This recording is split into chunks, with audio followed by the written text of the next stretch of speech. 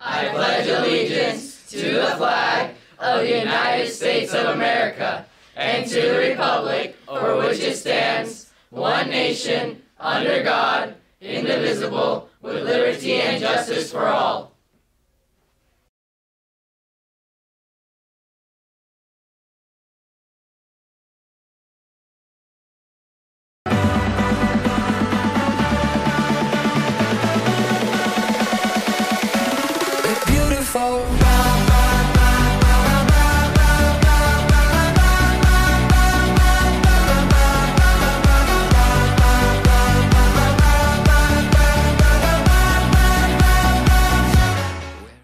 Good morning, Cougars! Today is Friday, January 10th. Welcome to SCTV News. I'm Cooper Malpe. And I'm Janard Thomas.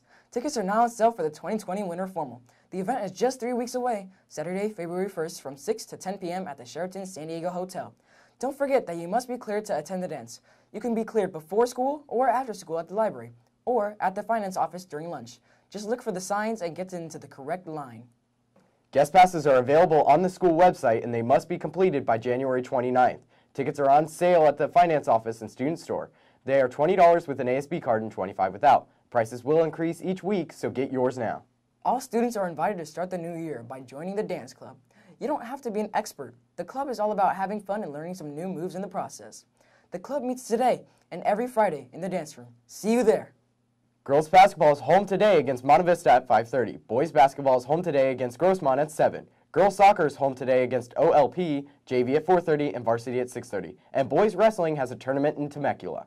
That's all the news we have for you today. Have a great weekend. Rah rah Cougars. Cougar Pride, get some!